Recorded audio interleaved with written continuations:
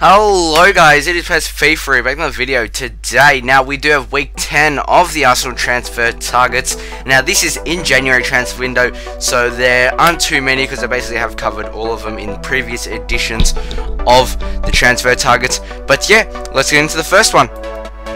So the first one here is going to be Nabil Fekir, the man from Olympique Lyon. Now he's 22 year old French. I don't really know why we'd want to sign him. He would be he's apparently he's linked to have really good potential. So um, yeah, he's also got a, a silver inform uh, this year. So uh, maybe that shows signs. Uh, I don't really watch the French league so much. It's dominated by PSG.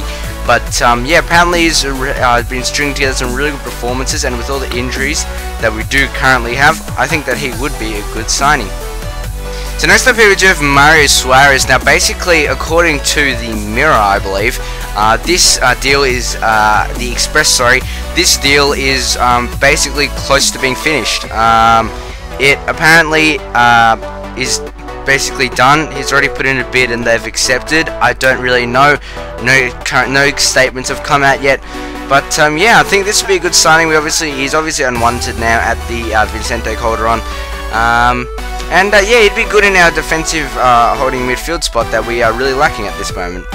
So last but not least, we do have the Saint Etienne captain. Now this is Loic Perrin. Now it's only a rumoured fee of six million pounds, as he is uh, 30 years of age. But uh, also this, um, apparently, according to uh, the according to the Express as well, uh, this deal is also. Um, this deal is also uh, nearing completion, which is very, very good as we do another centre back, as uh, Koscielny basically is our defence, and if he has a bad game, then the whole team has a bad game.